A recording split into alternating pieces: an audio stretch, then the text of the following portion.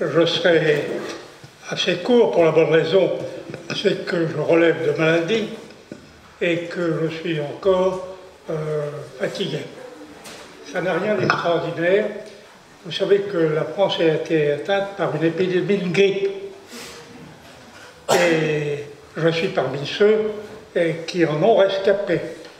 Alors vous allez me dire, quelle flatterie ou autre, euh, euh, malgré avoir été vacciné contre la grippe, etc., il n'y a rien d'extraordinaire. Si, en ce sens que 6500 de nos compatriotes sont morts cette année de la grippe. 14 000 Français ont été euh, hospitalisés pour la grippe. Est-ce que vous avez entendu parler des chiffres, qui sont des chiffres que j'ai recueillis auprès d'organismes officiels? Est-ce que vous avez entendu parler de la grippe? Alors qu'on parle euh, d'autres sujets Non. Pour la bonne raison, c'est qu'on nous cache la vérité en permanence y compris dans le domaine médical. Parce que cette grippe exceptionnelle, euh, de personnes qui ont été en, général vaccinées, tient au fait que les migrants nous ont apporté des virus qui étaient inconnus jusqu'alors. Et alors, parmi les responsables euh, de ces nombreux morts et de ces hospitalisations, eh bien, il y a les gens en place qui ont favorisé l'importation de virus. Alors les deux virus sont désignés officiellement par des lettres. Évidemment, euh, j'en ignore le développement, mais c'est pour dire à quel point des faits aussi importants euh, n'ont donné lieu à aucun communiqué, à aucune condoléance officielle, alors qu'habituellement, ils n'hésitent pas à en diffuser. Euh, en complément, si j'ose dire, euh, Diane Belfaux a mis, euh, je signalerai la grave erreur commise par l'état-major français d'avoir installé les positions de résistance dans une cuvette. Ça rappelle Sedan, en 1870, qui avait amené la capitulation de l'armée française, la défaite de notre armée et par conséquence l'amputation de notre territoire national par l'Alsace, et de la Lorraine-Mosellane. On ne se met jamais dans une cuvette. Le deuxième, c'est l'exemple, malheureusement donné par nos adversaires.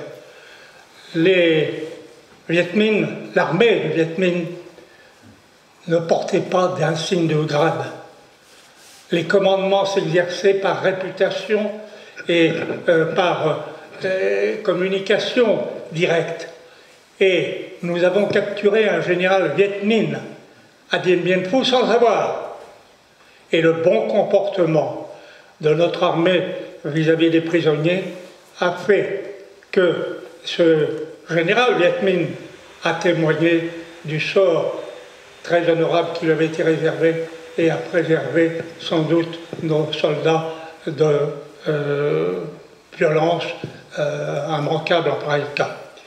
Alors aujourd'hui, vous apprenez par la LICRA qu'à Lyon, l'extrême droite de Jeunes Nations, dirigée par et des euh, Ivan Benetti, voyez l'emploi des termes, organise le 16 mars un pseudo-colloque, pourquoi pseudo, dont le thème de la Révolution nationale était le programme politique de Vichy.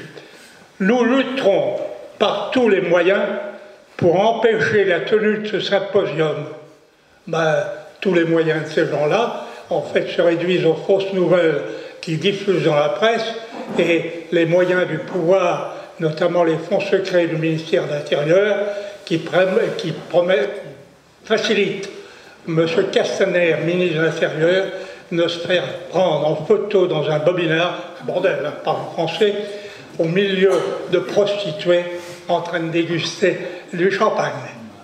D'où le scandale actuel, et avec cette réponse abominable de la part d'un homme politique. Ah, mais on n'a pas le droit de parler, ce sont des affaires privées. Or, j'estime, nous devons le considérer, qu'un homme public, ça, euh, implique les dames, euh, n'ont pas à avoir de vie privée, parce qu'ils professent des idées et ils font le contraire et ils disent Ah ben c'est ma vie privée. Donc, ça ne comporte aucune exception, et n'acceptez jamais que quelqu'un qui a des activités politiques vous déclare, parce qu'il fait le contraire de ce qu'il vous demande de faire, que c'est une affaire privée. Et puis alors, voyez les limites euh, de la LICRA, malgré tout, cette pire officine cosmopolite. Nous emploierons tous les moyens pour empêcher ce colloque. Eh bien, tous les moyens de la LICRA se réduisent tout de même à relativement peu de choses, n'est-ce pas? Alors, euh, je vais préciser parce que récemment, quelqu'un me dit Ciso, Ciso, votre nom est de quelle origine? Alors, je précise, c'est pourquoi, vous voyez, ma conversation est un peu décousue, mais euh, c'est pas utile d'aborder certains sujets. Mon nom, le nom de ma famille, est un nom gaulois. 300 noms, 300 mots gaulois, la langue gauloise, sont entrés dans le français. Et il y a le mot sidos qui veut dire la paix. Et ça m'a rassuré euh, parce qu'effectivement, nous n'avons d'autres buts dans l'existence que d'amener la paix sociale en France. Et moi qui ai perdu mes deux frères à la guerre, je tiens à vous dire que je suis foncièrement contre ces conflits armés qui ne résorbent rien. Euh, alors, euh, Gaulois, c'est bien. D'ailleurs, il y a M. Macron qui nous a relativement insultés sous cette appellation, c'est rappelé là-bas, euh, les Gaulois réfractaires. Eh bien oui, parfait. C'est une excellente définition, mais qu'elle insultante. Alors, les réunions que nous tenons, il y a toujours des fleurs c'est recommandé parce que euh, il y a de quoi être choqué. Quand vous lisez la rubrique nécrologique des journaux, prenons Figaro, les pages entières de rubrique avec les mariages, c'est pas nécrologique, mais après la rubrique purement nécrologique, vous apercevez que de plus en plus, ça se termine, on annonce le décès, où ça se passerait, etc. Ni fleurs ni couronne. Alors je me demande pourquoi cette hostilité des fleurs en pareil cas. Or, c'est nouveau aussi et ça implique euh, une disparition progressive des marchands de fleurs. Alors, c'est assez curieux, mais quand Mitterrand a pris le pouvoir, donc le Parti socialiste, le Parti socialiste avait comme emblème une fleur, la rose rouge. Et quand il a été institué en France, euh, la TVA, c'est-à-dire les, 20% sur tous les produits, les fleurs ont été dispensées. Et les socialistes ont établi la TVA sur les fleurs. Tout ça, c'est pas su ou mal su, mais ça situe bien les choses. Alors, euh, vive les fleurs. Euh, et en tout cas, il y a une chose que j'ignore, comme on prétend qu'on apprend quelque chose tous les jours, euh, là, au terme de la réunion, si quelqu'un savait pourquoi, quand on offre des fleurs ou les fleurs, c'est toujours un nombre impair. Je l'ignore. Si quelqu'un le savait, euh, je lui prie de me le communiquer parce que ça me permettra d'avoir appris quelque chose euh, aujourd'hui. Alors, également, comme vous avez pu le constater, il y a une croix celtique blanche. Alors, il est préférable de bien comprendre euh, que les problèmes de couleur, comme les, mots, ont d'importance. Les couleurs et les mots transmettent des idées et il faut se tenir. Euh, vous vous rappelez sans doute qu'au siècle des cathédrales, lorsque nos, peuples, et notamment le peuple français, édifiaient ces merveilles que sont les cathédrales, eh bien, elles étaient peintes de l'extérieur, en couleur. Maintenant, elles seront très belles comme cela, mais on n'avait pas peur euh, de mettre de la couleur extérieure. Désormais, j'habite le 13e arrondissement de Paris et la paroisse à Sainte-Mathilde, eh bien, euh, a disparu à cause des tours. Or, il n'y a pas doute que le clocher était là pour rappeler au milieu euh, de quoi il s'agissait. Tandis que là, ces tours ont été édifiées par Chirac et pour détruire certains aspects euh, de notre civilisation que comportaient les clochers. Alors, euh, Oui, je vous ai signalé le cas de la grippe, mais tout à l'heure, vous parlez d'attentats, parce que tous ces gens-là parlent d'extrême droite, prétendument nous serions des violents.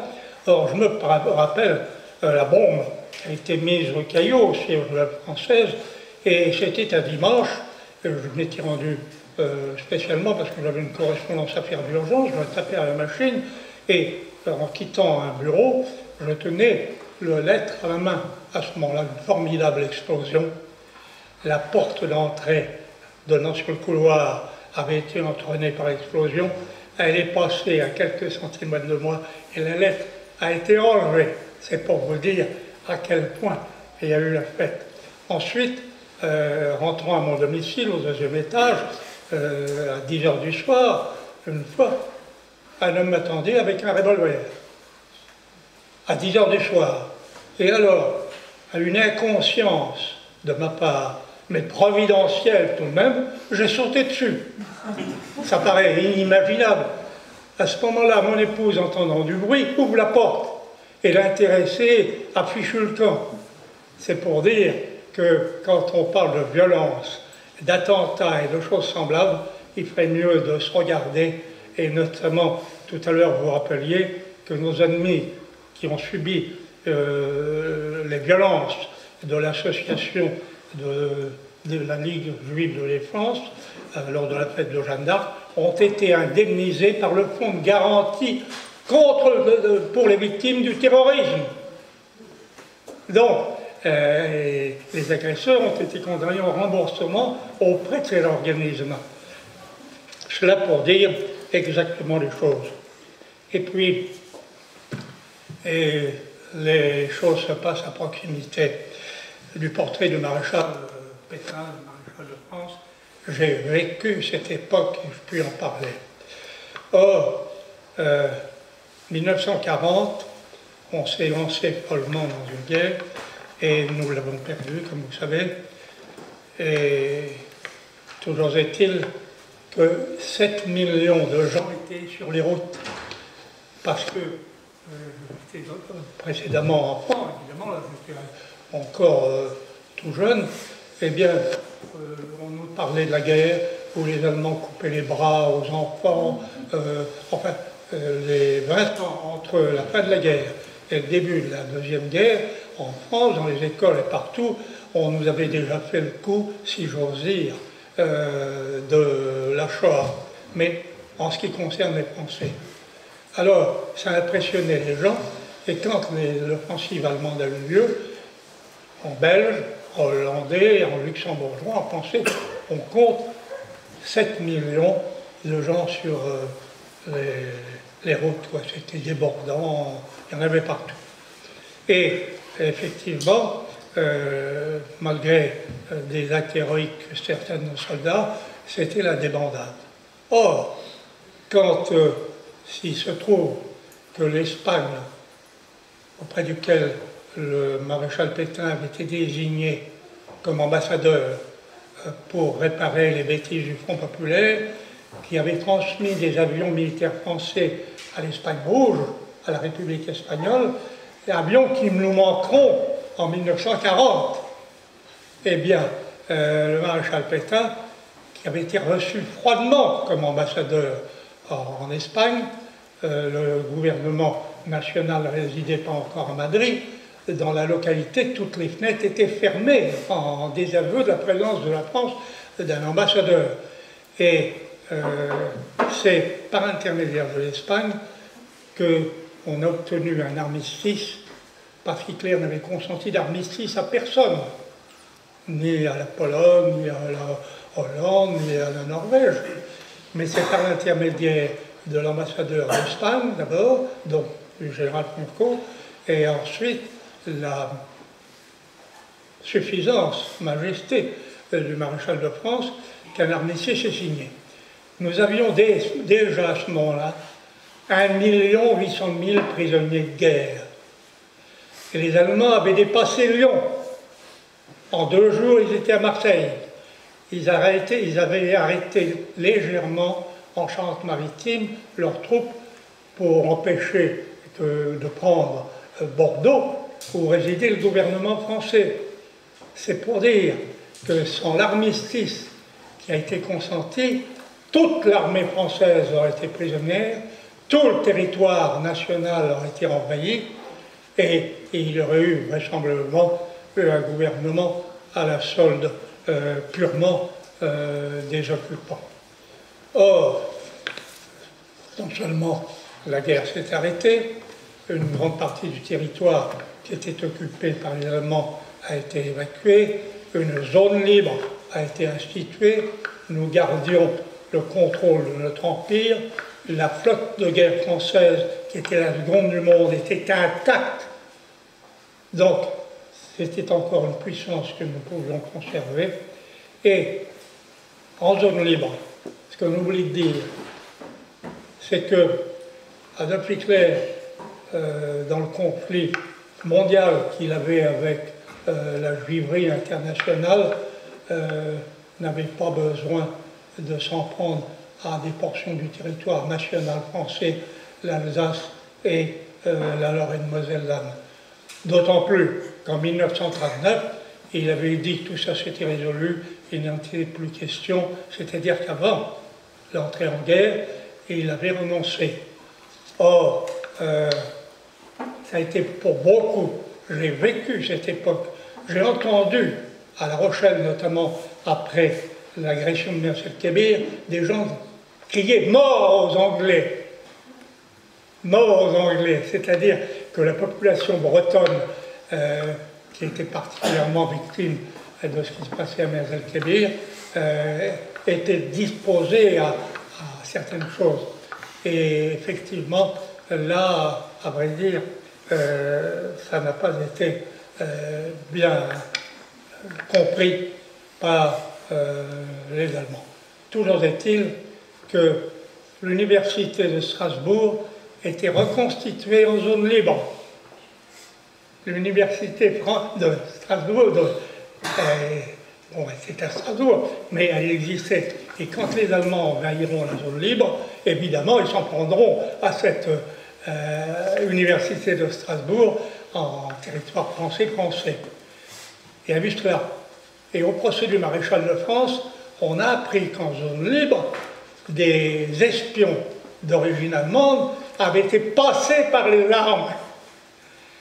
Parce que quelqu'un me disait récemment, mais oui, seulement Vichy a joué le double jeu. Non, c'était le, rôle de la France euh, de se garder, de prendre parti euh, pour l'un ou pour l'autre. Nous avions déjà perdu assez de plumes dans la bagarre, il fallait laisser, et d'ailleurs ça se disait à l'époque, l'ours euh, soviétique euh, perd ses plumes, je ne sais pas quoi, mais que la France, euh, il y en avait assez de la guerre, des pertes que nous avions pu éprouver, il fallait s'arranger à maintenir le maximum de possibilités extérieures, et pour cela, un homme incarnait la nation française. À tel point qu'un livre qui vient de paraître, traduit de l'américain, relate tous les propos sympathique de, Roosevelt qui refusait d'entendre parler de De Gaulle en disant la France est Pétain. Et dans ce livre extraordinaire, avec les références, il est indiqué tous les propos de Staline de la même façon. Euh, je ne veux pas entendre parler de De Gaulle, la France c'est Pétain. Alors, euh, qu'après coup, on ait osé qualifier le maréchal vainqueur, non seulement de Verdun, bien qu'il s'en défende, il disait toujours Verdun, c'est le Poidu qui a gagné la bataille de Verdun. Mais il faut savoir que la haute armée en France a eu le mépris aussi bien euh, pour faire tuer inutilement dans des offensives euh, excessives euh, nos soldats, mais encore les messes officiers étaient bien tenues, je vous le garantis. Mais le militaire de base était pas considéré. Et euh, le maréchal de fait, qui n'était colonel à la déclaration de guerre, pourquoi Il était bloqué? Il n'était pas pratiquant sur le plan religieux, mais il y avait eu la fameuse loi pour les informations en milieu militaire euh, pour connaître les opinions religieuses des militaires. Et le colonel Pétain, il commandait un régiment à ce moment-là à Rennes, avait reçu une note du ministère de la Guerre en lui demandant de communiquer la liste de ses officiers qui allaient à la messe. Il a répondu, le colonel Pétain, se rendant à la messe tous les dimanches, il n'y allait jamais. Se mettant au premier rang, n'a pas l'habitude de se retourner. Et il ignore donc les officiers de son régiment qui pourraient assister à la messe. Ça vous bloque les avancements, ça.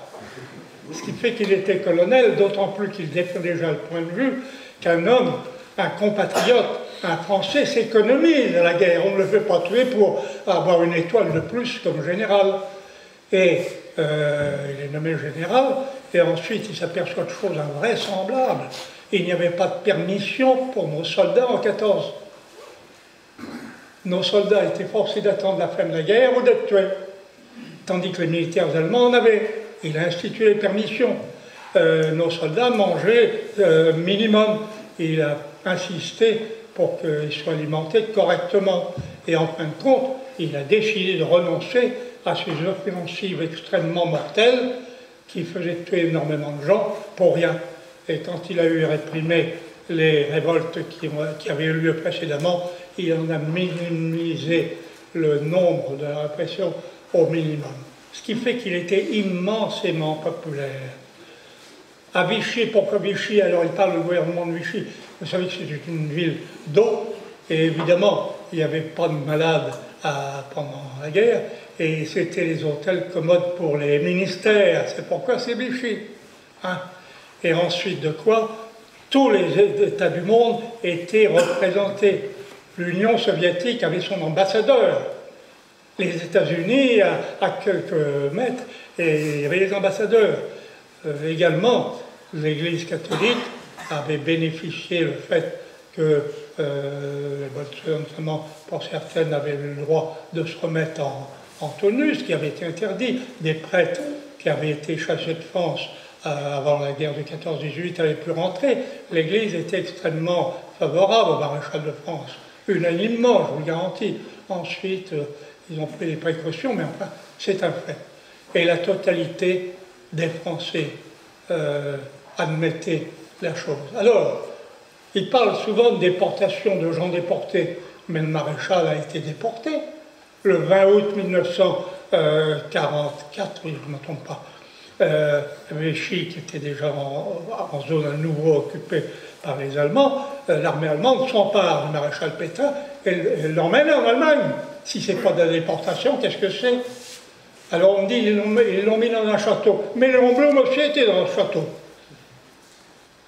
Et euh, je tiens à vous dire que j'étais captif, ainsi que 2000 jeunes gens, euh, dans le camp de concentration du Struthof, le seul camp de concentration établi en Alsace par les Allemands, et nous y avons été mis euh, venant de différents lieux de captivité, et on est arrivé dans ce camp très étonné parce que le système pénitentiaire français est abominable, du moins à l'époque, euh, en, absence de propreté, en absence de commodité. Et au Struthof, c'était le placard individuel, des fleurs, etc.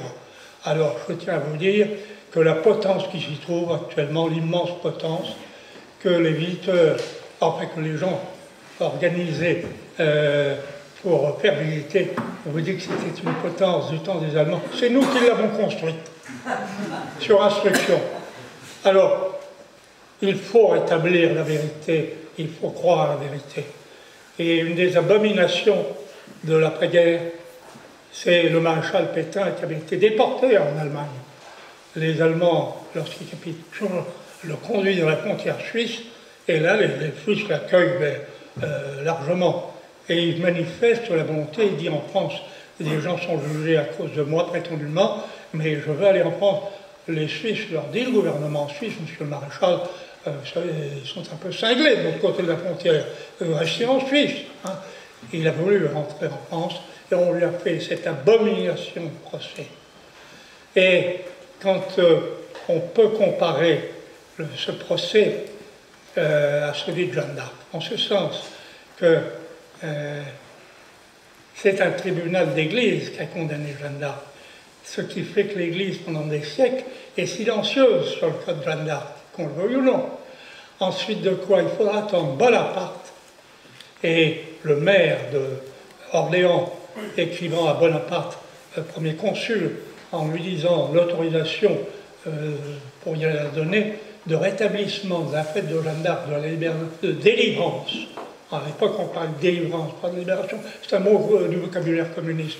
La délivrance d'Orléans, que la République avait interdit. Alors Bonaparte a répondu, l'illustre Jeanne d'Arc a prouvé qu'il n'était rien d'impossible à la nationalité française quand sa liberté est en cause. Et ensuite, le romantisme littéraire a favorisé la meilleure Michelet, notamment connaissance de Jeanne d'Arc. Et ce sont les nationalistes français, notamment Barès, qui ont à nouveau parlé de Jeanne d'Arc. Et euh, il a fallu la victoire française de 1920, parce que la glisse s'adapte, malheureusement pour les mauvais cas, mais dans le bon cas là, pour que Jeanne d'Arc soit sanctifiée. Il a fallu cinq siècles pour que Jeanne d'Arc soit sanctifiée. Et c'est le régime actuel, avec son président de la République, qui est notamment Giscard d'Estaing avant, qui euh, ne respecte plus la fête nationale de Jeanne d'Arc, décidée par l'Assemblée nationale, en ne se rendant plus à la statue. C'est volontaire. Vous voyez, ce sont des choses qui ne se remarquent pas, mais De Gaulle y allait, et tous les présidents de la République, depuis 1920, y allaient. Et toutes ces choses, c'est un peu comme la grippe dont je parlais tout à l'heure, on en parle, on n'en parle pas, nous sommes sous-informés. C'est pourquoi il faut lire non seulement les ouvrages qui vous sont proposés, mais chaque semaine Rivarol, qui est le meilleur, la meilleure publication en ce. Euh, quiconque ne lit pas Rivarol, malheureusement, j'estime qu'il lui manque quelque chose. Moi, en tout cas, euh, ça me confirme ou ça m'apprend des choses, alors euh, vous avez pensé l'utilité que ça pourrait avoir.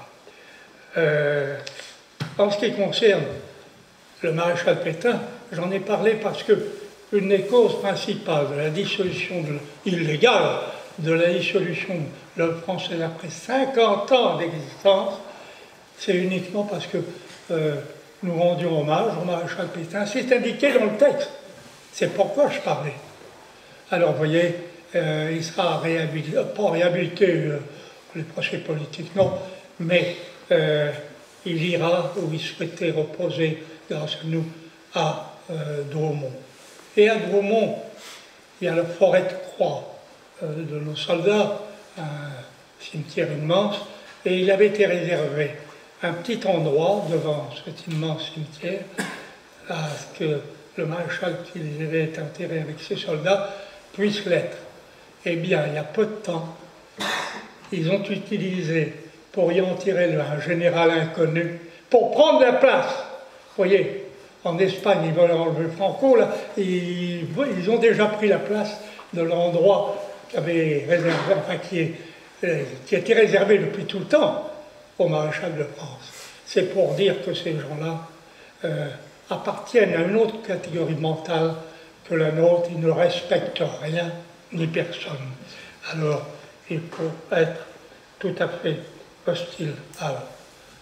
Il y a un slogan écrit là, bas les voleurs, c'est le cri du 6 février 34 à bas les voleurs, parce qu'ils nous volent, pas seulement Castaner en tapant dans les fonds secrets pour aller dans un bobinard, mais ils nous volent.